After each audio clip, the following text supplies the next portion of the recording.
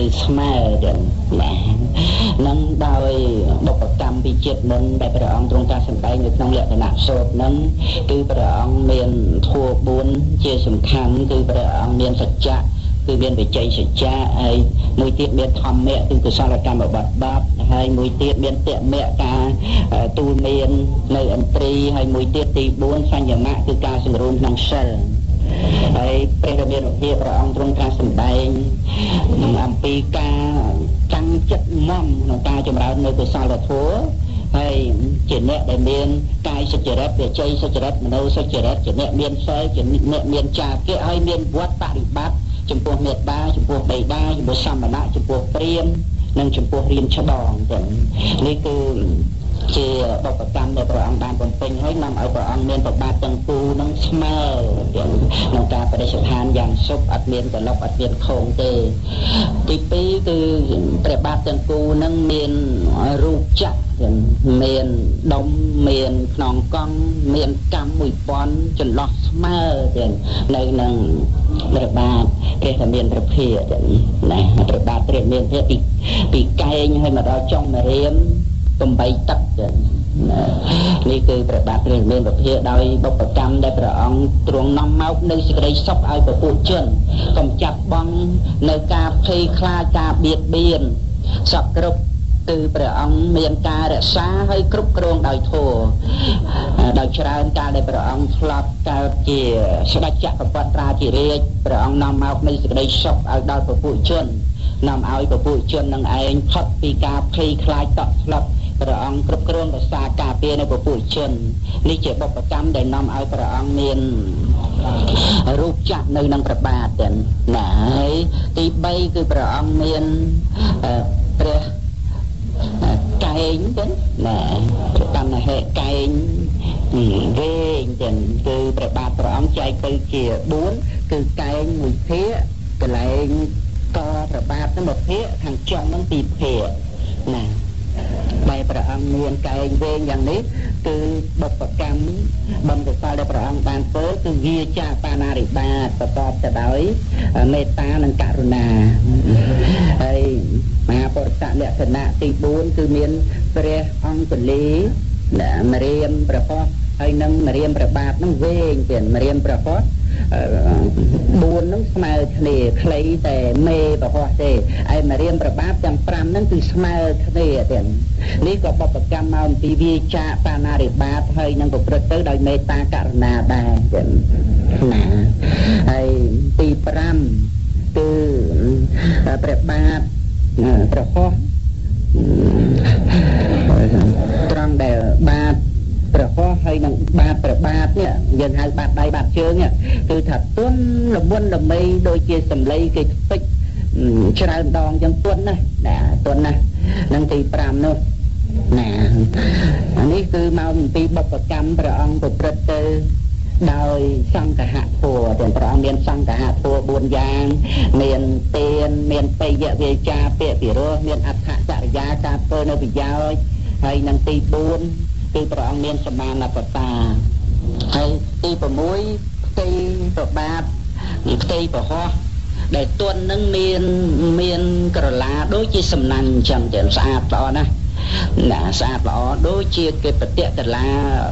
ស្រោបពីលើប្របាទទាំងគូនឹងអញ្ចឹង ណាហ្នឹងក៏បុព្វកម្មមកពីព្រះអង្គមានសង្កហធัวដែរចឹងហើយទី7គឺព្រះអង្គមានកព្រះបាទនឹងដូចជាបដិស្ថាននៅលើព្រះបាទចឹងដូចជាអណ្ដែតដល់លើមកអំពីកែងព្រះអង្គវែងចឹងទៅហើយហើយដល់ទៅកព្រះបាទនឹងដូចតប់នៅពីលើចឹងចឹងណាមើលទៅល្អ នេះគឺជាបុព្វកម្មដែលព្រះអង្គបានជាអ្នកប្រទាននៅពាក្យមានប្រយោជន៍ធម្មទានទានប្រព្រឹត្តទៅយ៉ាងនេះណាគឺដូចជាកប្របាទអណ្ដែតនៅលើប្របាទចឹងហើយដល់ទៅទី8គឺព្រះជន្ធាស្មងព្រះអង្គនឹងរាវសលោនដោយដង្ហើមស្រូវឬក៏ដូចជាស្មងនៃសត្វត្រីអញ្ចឹងណានឹងហើយ ត្រង់នៅទី8ហ្នឹងដោយសារអីដោយសារព្រះអង្គទ្រង់បង្រៀននៅសិល្បៈវិទ្យាឲ្យដល់គេទាំងហើយដល់ទៅទី9ព្រះអង្គទ្រង់ឈរទ្រង់ប្រថាប់ឈរហើយព្រះអង្គទម្លាក់ប្រហោះទៅស្ទាបព្រះជាណកជង្គង់បានទៅណានឹងបុព្វកម្មដោយសារព្រះអង្គមានបបលញ្ញុតាជាអ្នកស្គាល់បុគ្គលសង្គ្រោះដល់ពពួកជនចឹងហើយខ្ញុំកណាញបាបនឹងវិលត្រឡប់ សារឡើងវិញសំដែងអំពីបុព្វកម្មដែលព្រះអង្គទ្រង់បានបំពេញចឹងហើយទី10ព្រះអង្គមានទុយហប្រទេសអវយវៈដែលបិទបាំងទៅដោយសម្ពុតហ្នឹងដូចគឺថានៅក្នុងនៅក្នុងស្បែកដូចនៅក្នុងស្រោមអញ្ចឹងទេដូចជាអវយវៈរបស់សត្វគោជាដើមនេះបុព្វកម្មដោយសារការព្រះអង្គសង្គ្រោះដល់ពពួកញាតិទេព្រះអង្គសង្គ្រោះដល់បងប្អូន ប្រុសបងប្អូនស្រីមេត្តាបិតាពពួកញាតិមិត្តដោយការសង្គ្រោះនេះឯងទេដែលនាំឲ្យព្រះអង្គបាននៅមហាពុទ្ធលក្ខណៈទី10នេះទី11ព្រះអង្គមានពួរសម្បុរស្អាតដូចមាសអញ្ចឹងចឹងដូចមាសនឹងបុព្វកម្មព្រះអង្គមិនក្រោតហើយឲ្យនៅទានសម្ពុត12គឺព្រះអង្គមានព្រះឆោវិវ័នល្អិតចឹង គឺមិនមានធូលីអាចជាប់នឹងពវរកាយព្រះអង្គបានទេនេះបុព្វកម្មដោយសារព្រះអង្គចូលទៅសាកសួរសមណៈត្រៀមយ៉ាងម៉េចកុសលយ៉ាងម៉េចអកុសលជាដើមទៀតដោយការសាកសួរហ្នឹងនាំឲ្យមានព្រះឆោវិវ័នល្អិត12នោះ13គឺព្រះអង្គមានព្រះលោមាព្រះលោមានឹងគឺក្នុងក្នុងរណ្ដៅមួយមានរោមតែមួយក្នុងរណ្ដៅមួយមានរោមតែមួយទេព្រះលោមាហ្នឹងហ្នឹង ដោយសារអានិសង្សដែលព្រះអង្គវាចានៅមុសាវាទណាមានតែពាក្យពិតតែប៉ុណ្ណោះនឹងរុនរោមមួយអឺគឺមានរោមមួយអញ្ចឹង14គឺព្រះលោមានឹងបះឡើងលើអញ្ចឹងបះឡើងលើធ្វើខៀវដោយកាយអញ្ចឹងអញ្ចឹងហើយគួចវេជាតេភិណាវត្ត នេះគឺអានិសង្សបុព្វកម្មដែលព្រះអង្គទ្រង់ជាអ្នកប្រទាននៅពាក្យមានប្រយោជន៍គឺធម្មទាននឹងផងដែរ15ព្រះអង្គមានកាយត្រង់ទាំងដូចជាកាយមហាព្រំនេះគឺបុព្វកម្មត្រង់ដែលព្រះអង្គវាចាបាណារិបាតនឹងផងដែរទាំង16អសង្ឃ7កន្លែងរបស់ព្រះអង្គគឺនៅនៅខ្នងប្របាទខ្នងប្រហោះ ពួនខ្នងប្របាទទីខ្នងប្រហោះទីនៅនឹងចង្គួយស្មានេះពេញកធួធួទាំងហើយនឹងព្រះ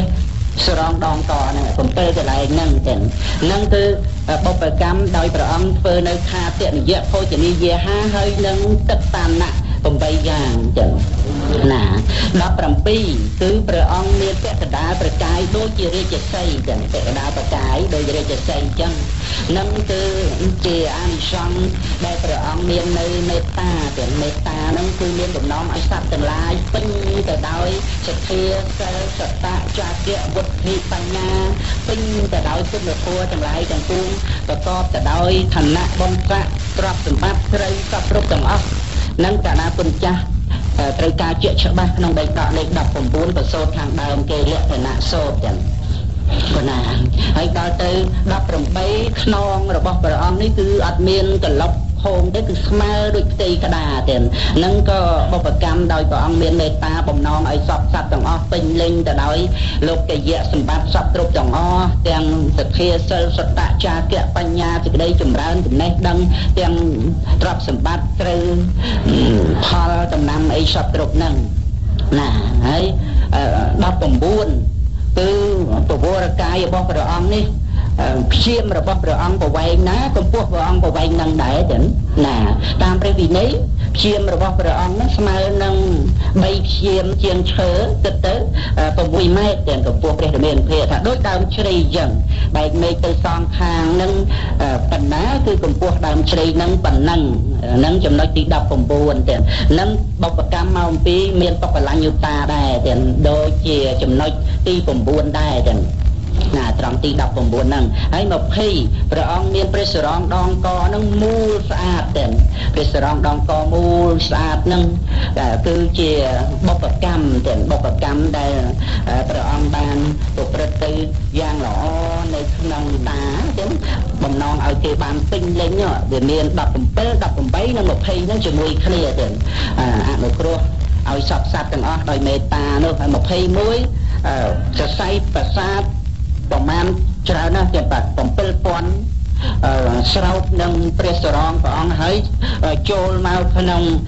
អណ្ដាតសម្រាប់ស្រូបយកជីជាអំបីតែអាហារប៉ិនក្របលងក៏ផ្សព្វផ្សាយទៅពេញពវរកាយពេញពវរកាយចឹងណានឹង ក្នុងចំណុចទី21ទៀតក្នុងចំណុចទី21នេះគឺមានមានសរសៃប្រាសាទនឹងល្អណាស់ដែលប្រព្រឹត្តទៅដោយបុព្វកម្មដែលព្រះអង្គបានបំពេញធ្វើនឹងគឺត្រង់ដែលព្រះអង្គមិនបៀតបៀនសត្វទៀតមិនបៀតបៀនសត្វដោយកាយមិនបៀតបៀនសត្វ ដោយវាចាយ៉ាងណាយ៉ាងណាមិនបៀតបៀនដោយបាតដៃដោយសម្បងដោយសត្រាហ្នឹងក្នុងហ្នឹងដែលនាំឲ្យព្រះអង្គមាននៅនេះសរសៃប្រាសាទទាំងសរសៃប្រាសាទហ្នឹងរួចទៅទី22ព្រះអង្គមានហនុព្រះចង្ការនេះទាំងព្រះចង្ការនឹងស្អាតល្អណាស់ដូចជាប្រចាំ12កើតអញ្ចឹងទាំងដូចជាប្រចាំ12កើតចង្ការនឹងទាំងនឹងក៏ ពេញលេញល្អដោយអំណាចការព្រះអង្គវាចាការនិយាយសម្ភបលាបៈពាក្យនិយាយអត្ថប្រយោជន៍ហ្នឹងណាហើយនិយាយតែពាក្យពិតពាក្យត្រូវតាមកាល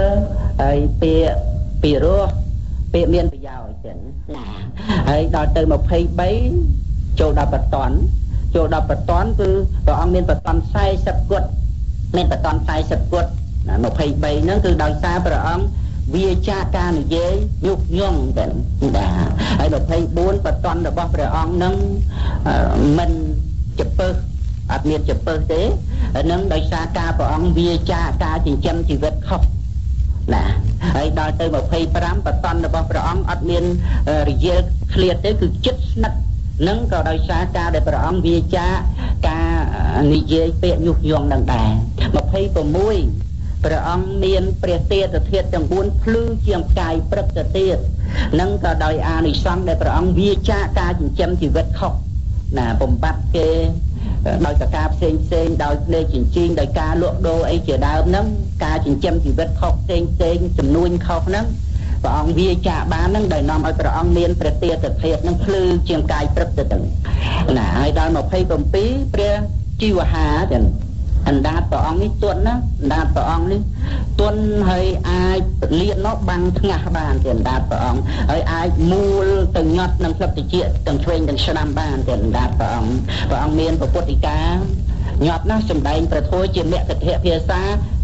អ្នកណាក៏ស្ដាប់បានដែរអត់ចេះមគ្គធភាសាព្រះអង្គសម្ដែងទៅគេស្ដាប់បានដូចព្រះអង្គសម្ដែងភាសាគេអញ្ចឹងទៅណាហ្នឹង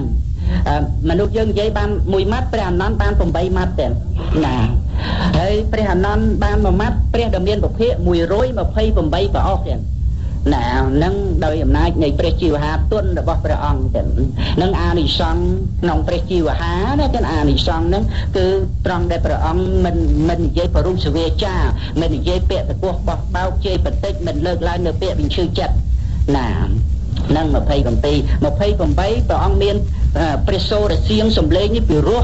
ពីរោះណាស់ដូចជាសំឡេងមហាព្រំឬដូចសំឡេងតតរវត្តអញ្ចឹងដែររនាងអាសន្តិមេត្តាអគ្គមហេសីនៃបាធម្មសោ ក្នុងពុទ្ធសករាជជាង200ចឹងប្រពុតបរិនិព្វានទៅហើយឮមកថាព្រះអង្គមានសម្លេងពីរោះអញ្ចឹងដោយសម្លេងសក្ករវត្តអូឲ្យគេទៅចាប់សក្ករវត្តមកព្រះបាទធម្មាសោកនឹងឲ្យគេទៅចាប់ពីដៃដីព្រះហើយពៀនមកបានសក្ករវត្តនឹងពីរោះណាបើថាយំពួកខ្លាពួកតោដេញសត្វនៅនៅត្រូវឈប់ងក់ទៀតឲ្យតែលឺសក្ករវត្តយំឈប់ងក់ហ្មងត្រីដើកអីហែតពីលើទឹកមកស្ដាប់ សត្វស្លាប់អីសង្កាំងចាំស្ដាប់ទាំងអស់ទៀត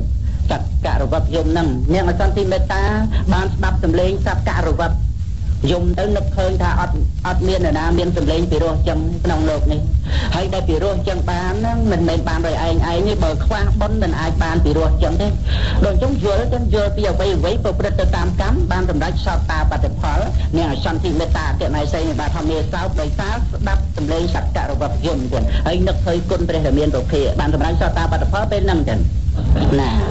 ហ្នឹង 28នោះហើយ29បណេតទៀតបណេតរបស់ព្រះអង្គនេះបណេតណាខៀវនោះខៀវដូចការតាគៀតអញ្ចឹងមានពួរ5ទៀតមានពួរ5បើថាលឿងវិញលួងដូចទឹកមាសដូចការកណ្ណិកាទៀតលឿងហើយបើថាក្រហមវិញក្រហមដូចការច្បាហើយបើថាសវិញសដូចកាយព្រឹក ហើយបើថាខ្មៅវិញខ្មៅដូចផ្លែផ្សំមានពួរ5ទៀតហើយមានពលឺចេញតាមប្រណេតហ្នឹងហ្នឹងប្រណេតព្រះរាមាភិមង្សៈមង្សចក្ខុរបស់ព្រះរាមាពុភៈហ្នឹងចក្ខុប្រសាទហ្នឹងថ្លាល្អណាស់ព្រះអង្គអាចមើលក្នុងពេលយប់ងងឹត15រោចមេឃពពួកខ្មៅព្រះអង្គអាចមើលបានមួយយោជន៍ដល់ជុំវិញទៀតឃើញរូប នៅពេលយកនិមិត្តហ្នឹងហ្នឹងហើយអានិសង្សបណេតហ្នឹងដោយសារព្រះអង្គសម្លឹងមើលអ្នកដតីអ្វីអ្វីទាំងអស់គឺដោយបយៈចក្ខុមានបតីឆ្មោះត្រង់មិនសម្លឹងដោយអំណាចនៃទោសចិត្តហ្នឹងមើលនៅក្នុងលក្ខណៈសោតណាទៀតហ្នឹងហើយហើយ30ប្រណេតរបស់ព្រះអង្គនឹងគឺថ្លាយងដូចជាភ្នែកកូនមរឹកកូនគោក្រហមដែលទឹកតែកើតចឹងហើយដល់ទៅ31ព្រះអង្គមានព្រះ អូណាលោមនៅត្រង់ប្រជុំចិញ្ចើមចម្ពូនៅកណ្ដាលនឹងទាំងសភ្លឺដូចពេជ្រតែទន់ដូចសម្លេងគេពេជ្រ100ដងអញ្ចឹងណាអានឹងគឺអារិសង្ឃព្រះអង្គវាចាមុសាវាទណាវិតោតតិពិតទាំងហើយដល់ទៅ32ព្រះអង្គមានមហាបរិស័កលក្ខណៈចុងក្រោយគឺដូចមានក្បាំងបាំងពីមុខអញ្ចឹងទៅ ណាក្បាំងដូចក្បាំងហើយនឹងកដាលបសិស័កនេះគឺថាប៉ោងឡើងទាំងប៉ោងឡើងស្រាប់នេះជាមហាបរិស័កលក្ខណៈ32ប្រការទាំងហើយមានពលឺចេញត្រង់កដាលទៅលើណាហៅថាប្រកេតតមេលាទាំងនេះបុព្វកម្មត្រង់ដែលព្រះអង្គជាចម្បងក្នុងក្នុងបុណ្យកុសលដោយកាយសុចរិតវិជ័យសុចរិតមនោសុចរិតក្នុងសិលក្នុងទានក្នុងការគោរពមេត្តាបិតាសមណៈព្រាមគោរពព្រាមច្បង គឺព្រះអង្គតែងតែជាប្រធានដឹកនាំពុទ្ធបរិស័ទដឹកនាំពពួកជនទាំងឡាយក្នុងសម័យមុនមុនកាលដែលព្រះអង្គនៅជាព្រះបរមពុរិស័ទទាំងជាដែលព្រះអង្គតែងតែជាប្រធានលើពពួកជនទាំងដល់ទីបំផុតព្រះអង្គសម្រេចអានិសង្សនោះគឺព្រះអង្គមានប្រសិទ្ធៈ ទល់កដាលហ្នឹងហើយមានដូចក្បាំងនៅពីមុខស្រាប់ចឹងតែម្ដងតាំងតែពីកំណើតមកទាំងនឹង32ប្រការអញ្ចឹងហើយខ្ញុំកណាខ្ញុំបាទវិលត្រឡប់សរុបមកវិញនៅបុព្វកម្មរបស់ព្រះអង្គមាន20ចំណុចណាដែលព្រះអង្គទ្រង់ត្រាស់សម្ដែងក្នុងចំណុចខ្លះនាំឲ្យមហាបរិស័កលក្ខណៈបានតែមួយក្នុងចំណុចខ្លះបាន2ក្នុងចំណុចខ្លះបាន3ទាំងរួមទៅមហាបរិស័កលក្ខណៈ32ប្រការ ដូច្នេះក្នុងចំណុចទី1គឺព្រះអង្គមាននៅធัว4ហ្នឹងសច្ចៈទី2គឺធម្មៈគឺធម៌ទី3តមៈគឺការទូមានចិត្តទី4សង្វរៈឬសញ្ញមៈការជំរុំ entry ហ្នឹងហ្នឹងកន្លែងហ្នឹងដែលព្រះអង្គមានការតាំងចិត្តមន់ក្នុងការបំពេញកុសលមានកាយសុចរិតវិជ័យសុចរិតមនោសុចរិតមានសិលមានចាគៈគោរពមេដាបិតាគោរពរៀមច្បង គោរពសមណៈព្រាមហ្នឹងដែលនាំឲ្យព្រះអង្គមានប្របាទយ៉ាងសុខនោះហ្នឹងនេះចំណុចទី1ចំណុចទី2គឺព្រះអង្គទ្រង់នាំមកនឹងសេចក្តីសុខឲ្យដល់ពពួកជន កុំចាត់បងការភ័យខ្លាចទុកលំបាកក្នុងការដែលព្រះអង្គត្រូវរក្សាការពារគ្រប់គ្រងប្រទេសនគរជាស្ដេចចក្រពត្តិព្រះអង្គដឹកនាំឲ្យពពួកជនទាំងឡាយរក្សាសិល5គ្រប់គ្នាទាំងអស់មិនឲ្យមានការភ័យខ្លាចតក់ស្លុតនឹងនឹងការច្បាំងកាប់ចាក់គ្នាទេកន្លែងទាំងឯងដែលនាំឲ្យព្រះអង្គបានមហាបរិស័ទលក្ខណៈគឺកងចាក់នៅនឹងប្របាទទាំងគូទាំងទី3គឺព្រះអង្គវាចាបាណារិបាតមានអាជ្ញាដាក់ចុះ ព្រះអង្គមានមេត្តាករុណានឹងនាំឲ្យបានសម្រេចនៅមហាបរិស័ទលក្ខណៈទី3ទី4ហើយនិងទី15ចឹងទី3គឺព្រះបិណ្ឌហិកែនេះវែងទី4ព្រះអង្គលីមរៀមប្រហោះមរៀមប្របាទវែងនិងត្រឹមត្រូវតាមលក្ខណៈហ្នឹងហើយទី15មានកាយត្រង់ដូចជាកាយមហាព្រំនិងអានិសង្ឃវិចាបាណារិបាតនោះ នឹងចំណុចទី3នោះចំណុចទី4គឺព្រះអង្គធ្វើនៅខាពនិយភោជនីយាហាហើយនឹងទឹកបាណៈទឹកបាន8មុខនឹងនឹងដែលនាំឲ្យព្រះអង្គបានសម្រេចត្រង់មហាបរិស័កលក្ខណៈទី16នោះគឺសាច់7កន្លែងក្នុងប្របាទ2ក្នុងប្រហោះ2ចង្គួយស្មា2ហើយនឹងព្រះសរងនេះសាច់ពេញកធុធុអត់មានសរសៃទេទៀតទី16ហ្នឹងអានិសង្ឃធ្វើទឹកបាណៈខាពនិយភោជនីយាហា ណានឹងចំណុចទី4នោះចំណុចទី5មានសង្កហវត្ថុ4យ៉ាងទេ1ទាន2បយៈវាចាពាក្យពិរោះ3អដ្ឋចរិយាធ្វើនៅប្រយោជន៍4សមាមត្តតាមិនចាញ់ម៉ានឆ្មាំឆ្មៃតម្កល់ខ្លួនស្មើដោយប្រពៃហ្នឹងកន្លែងហ្នឹងដែលនាំឲ្យព្រះអង្គមានបាបប្រហោះណាហើយនឹងបាបបាបជើងនេះបាបប្របាពីឯងទួនត្រង់ចំណុចទី5ហើយទី6ដូចជា គូសទៅដោយតឡាសំណាញ់អញ្ចឹងទៅប្រតិប្របាទនឹងស្អាតដល់ណានឹងមហាបរិស័កលក្ខណៈទី5ទី6នឹងសម្រាប់បានដោយអំណាចព្រះអង្គមានសង្ឃហវត្ថុនេះទាំងទុនហើយនឹងប្រតិទៅដោយចលាសំណាញ់នឹងចំណុចទី5នោះណាទី6គឺព្រះអង្គមានធម្មទាន ក្នុងការឲ្យធម្មទានប្រទាននៅពាក្យមានប្រយោជន៍ដែលនាំឲ្យព្រះអង្គមានមហាបរិស័ទលក្ខណៈ2ប្រការគឺដូចជាតប្របាទអណ្ដែតឡើងលើអញ្ចឹងទៀតណាគឺគាត់ទៅនៅក្នុងសាច់ដែលព្រះអង្គមានមានខ្នងប្របាទក៏សាច់ពេញល្អស្មើដោយប្របាទអញ្ចឹងហើយប្រជុំធា ស្មងនឹងរាវទៅចឹងទៅហើយកប្របាទហ្នឹងដូចនៅដែតពីលើអញ្ចឹងឯងណាហ្នឹងដោយអំណាចនៃធម្មទានទាំងទី6នោះហើយមួយទៀតហ្នឹងគឺព្រះលោមាព្រះលោមាហ្នឹងពួខៀវដោយការអញ្ជន់អញ្ចឹងបាសឡើងលើហើយវិលទៅខាងស្ដាំទៀតហ្នឹងនេះក្នុងចំណុចទី6ធម្មទានហ្នឹងនាំឲ្យមានមហាបរិស័ទលក្ខណៈ2ហ្នឹងទៀតហើយទី7បង្រៀនសិល្បៈវិទ្យាដល់អ្នកដទៃ បង្រៀនសិល្បៈវិទ្យាសពគ្រប់ទាំងអស់ឲ្យគេមានសិល5ឲ្យគេមានសិល8ឲ្យគេមានសិល10ទៀតទៀតនឹងបង្រៀនសិល្បៈវិទ្យានឹងនាំឲ្យព្រះអង្គមានព្រះជងធាស្មងនេះឯងរាវទៅសូលដោយចង្ហើមស្រូវឬក៏ស្មងសាប់ត្រាយណាក្នុងចំណុចទី8នោះណាមហាបរិស័ទលក្ខណៈទី8ហ្នឹងណាហើយដល់ទៅចំណុចទី8គឺព្រះអង្គចូលទៅសាកសួរសមណៈព្រាមទៀតក្នុងការសាកសួរនៅសមណៈព្រាម សួរយ៉ាងម៉េចកុសលយ៉ាងម៉េចអកុសលហ្នឹងការសាកសួរហ្នឹងនាំឲ្យព្រះអង្គមាននៅព្រះឆវីនោះល្អិតហូរផង់ធូលីអត់ជាប់មរែងភ្លើងអត់ជាប់ទេព្រះអង្គស្រង់ទឹកអត់មានដុសក្អែលព្រះអង្គព្រះអង្គអត់ក្អែលគឺស្រង់ឲ្យតែត្រជាក់ប៉ុណ្ណឹងទេចឹងណាហើយដល់ទៅទី9 ព្រះអង្គមិនក្រោតទេមិនក្រោតមិនមិនតោះចិត្តនឹងគេស្ដីគេថាអីសពគ្រប់ព្រះអង្គមានសេចក្តីអត់ធន់មិនក្រោតហើយអានិសង្ឃដែលព្រះអង្គធ្វើសម្ពុតនាំឲ្យព្រះអង្គមានព្រះឆោវិវ័នដូចមានចឹងទេហ្នឹងហ្នឹងទៅទី9នោះហើយដល់ទៅទី10ព្រះអង្គមានការរាប់អានញាតញាតដាបេដាបងប្អូនព្រះអង្គរាប់អានណាបែកគ្នាយូរហើយក៏ព្រះអង្គរាប់អានដោយមេត្តាទៀតក្នុងការរាប់អាននឹងចិត្តឆ្លិតឆ្នាលចឹងទៅ នាំឲ្យព្រះអង្គមានមហាបរិស័ទលក្ខណៈទី10នោះគឺមានវត្ថុពយហប្រទេសហ្នឹងដូចនៅក្នុងស្រោមចឹងរបៀបដូចជាវត្ថុពយហៈរបស់សត្វគោជាដើមណាហើយទី11គឺព្រះអង្គ មានការសង្គ្រោះដល់ពពួកជនចំណុចទី11គឺថាបបលញ្ញុតាស្គាល់បុគ្គលទាំងព្រះអង្គស្គាល់បុគ្គលនេះគួរបូជានេះបុគ្គលនេះគួរបូជាយ៉ាងនេះស្គាល់បុគ្គលយ៉ាងនេះគួរសាទគប់បុគ្គលយ៉ាងនេះមិនគួរសាទគប់អីអីយ៉ាងណាការដែលព្រះអង្គស្គាល់បុគ្គលហើយអនុគ្រោះដល់ពពួកជននឹងឯងដែលនាំឲ្យព្រះអង្គមានមហាបរិស័ទលក្ខណៈគឺថាព្រះអង្គទ្រង់ប្រថាប់ឈរទៅទី9ស្ទាបជង្គង់បានទាំងមហាបរិស័ទលក្ខណៈទី9ណាហើយត្រង់ទី19គឺព្រះអង្គមាន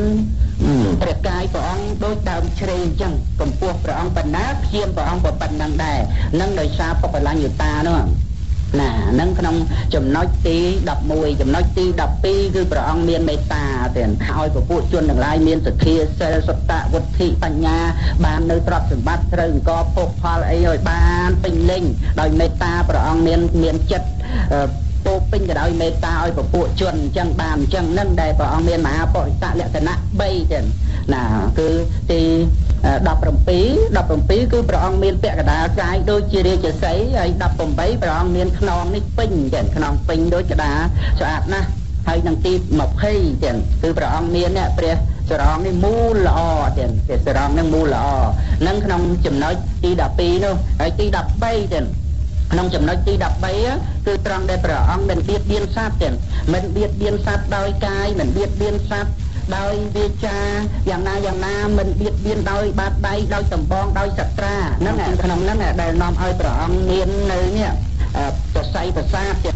ប្រជុំចូលទៅក្នុងអណ្ដាតរបស់ព្រះអង្គសម្រាប់យកយកជីជាតិ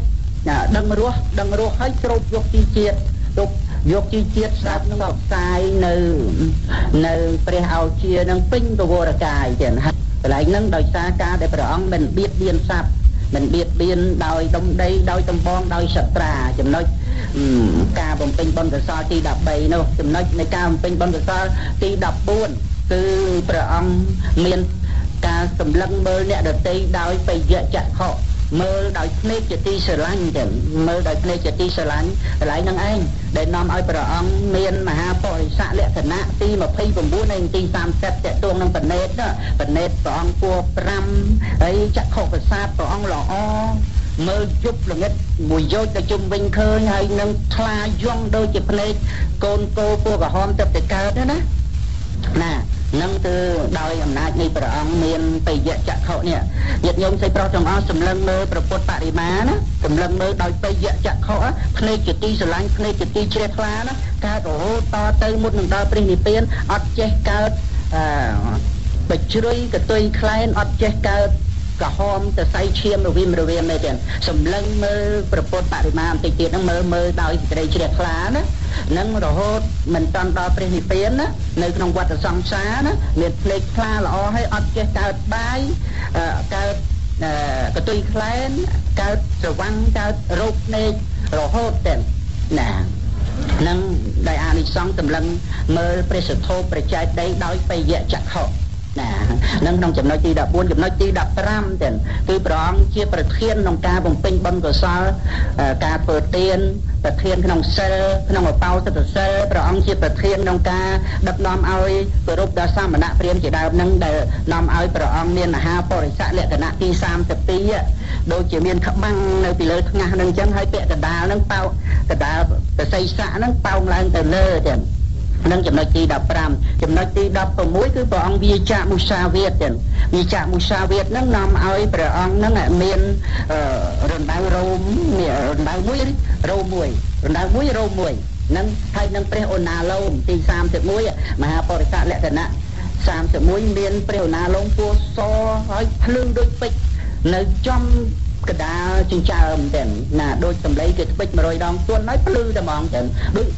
រោងពេជ្រចឹងទៅតែម្ដងហ្នឹងទី16ហើយទី17គឺព្រះអង្គវាចានៅពាក្យញុះញង់វាចានៅពាក្យញុះញង់នាំឲ្យព្រះអង្គមានប្រតន់នេះក្នុងមហាបរិស័កលក្ខណៈទី23ហើយនិងទី25ទាំងប្រតន់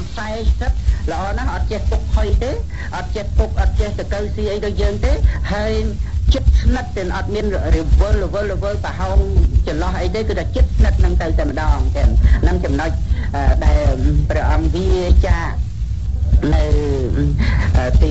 17បង្កសលដែលព្រះអង្គវាចានៅពាក្យញុះញង់ណាដល់ទៅចំណុចទី18គឺព្រះអង្គវាចានៅពាក្យណែពាក្យពាក្យពាក្យជេពាក្យបរោសវាចាព្រះអង្គវាវាចាហើយព្រះអង្គពោលនៅពាក្យ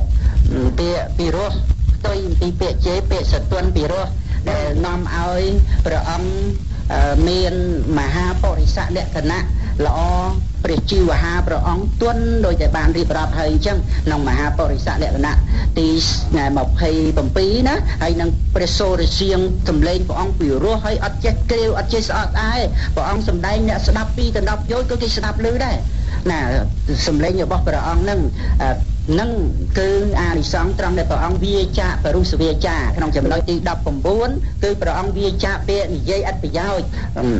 ព្រះអង្គអត់និយាយពាក្យអត្ថប្រយោជន៍តែអញ្ចឹងព្រះអង្គនិយាយពាក្យសច្ចៈពាក្យតាមការពាក្យពិតពាក្យមានប្រយោជន៍ដល់អញ្ចឹងទៅសម្រាប់ទៅជាអានិសង្សព្រះអង្គមាននេះព្រះព្រះហនុ អនុនឹងចង្ការទៀតចង្ការនឹងគឺស្អាតល្អដូចជាប្រចាំ12កើតចឹងទៅព្រះអនុនឹងនឹងក្នុងចំណុចទី19ហើយដល់ទៅចំណុចទី20នៅទី20ចុងក្រោយគេបង្អស់ហ្នឹងគឺព្រះអង្គវាចាកនៅការចិញ្ចឹមជីវិតខុសហ្នឹង ការនឹងឯងដែលនាំឲ្យព្រះអង្គតេតួងមកគឺព្រះអង្គមានប្រតន់ចឹងប្រតន់ហ្នឹងក្នុងចំណុចទី24និងទី26 24គឺព្រះអង្គមានប្រតន់នឹងឯងអត់ជាពឹសគឺថាស្មើគ្នាអញ្ចឹងហើយនឹងទី26ព្រះទេតធាតភ្លឺដោយកាយព្រឹកជាងកាយព្រឹកទៅទៀតគ្រាន់តែព្រះអង្គទ្រង់ញញឹមព្រះអនន្តនិមន្តពីក្រោយឃើញពលឺពាក្យជេពាក្យបរិសវាចាព្រះអង្គវាវាចាហើយព្រះអង្គពោលនៅពាក្យ ពាក្យពីរោះផ្ទុយពីពាក្យជេពាក្យសតុនពីរោះនឹងពាក្យហ្នឹងដែលព្រះអង្គទ្រង់វាចាអញ្ចឹងដែលនាំឲ្យព្រះអង្គមានមហាបរិស័កលក្ខណៈល្អផ្នែកខាងព្រះរូបកាយចឹងផ្នែកខាងព្រះរូបកាយត្រង់ដែលព្រះអង្គវាចា ពាក្យសម្ដីពាក្យជេរពាក្យតពោះបោះបោកហ្នឹងណាព្រះជីវហាព្រះអង្គទុនដោយតែបានរៀបរាប់ហើយអញ្ចឹងក្នុងមហាបរិស័កលក្ខណៈទី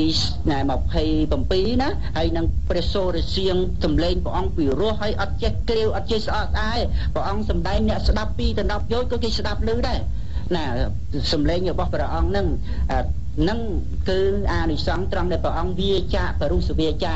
ពាក្យតពោះបោះបោកលើកឡើងនៅពាក្យបញ្ឈឺចិត្តព្រះអង្គវាចាទាំងអស់ពោលតែពាក្យសទុនពីរោះនឹងនាំឲ្យព្រះអង្គសម្រេចមហាបរិស័កលក្ខណៈទី27និងទី28ទៀតណានឹងក្នុងចំណុចទី28នោះហើយដល់ទៅ18នោះហើយក្នុងចំណុចទី19គឺព្រះអង្គវាចាពាក្យនិយាយអត្ថប្រយោជន៍ បរុសវេចាស្អីស្អីតមកមកដល់អាកន្លែងដែលសម្ភបលាបៈនេះនិយាយពាក្យឥតប្រយោជន៍ព្រះអង្គអត់និយាយពាក្យឥតប្រយោជន៍តែអញ្ចឹងព្រះអង្គនិយាយពាក្យសច្ចៈពាក្យតាមការពាក្យពិតពាក្យមានប្រយោជន៍ដល់អញ្ចឹងទៅសម្រាប់ទៅជាអានិសង្សព្រះអង្គមាននេះព្រះព្រះហនុ ហនុនឹងចង្ការទៀតចង្ការនឹងគឺស្អាតល្អដូចជាប្រចាំ12កើតចឹងតែព្រះហនុនឹងនឹងក្នុងចំណុចទី19ហើយដល់ទៅចំណុចទី20នៅទី20ចុងក្រោយគេបង្អស់ហ្នឹងគឺព្រះអង្គវាចាកនៅការចិញ្ចឹមជីវិតខុសការការចិញ្ចឹមជីវិតខុសដោយ ការបំបត្តិគេក្នុងក្នុងការចិញ្ចឹមជីវិតនឹងបំបត្តិដោយភ្នែកចិញ្ចៀងក្តីបំបត្តិគេដោយកិច្ចការងារផ្សេងផ្សេងការចិញ្ចឹមជីវិតនឹងហើយ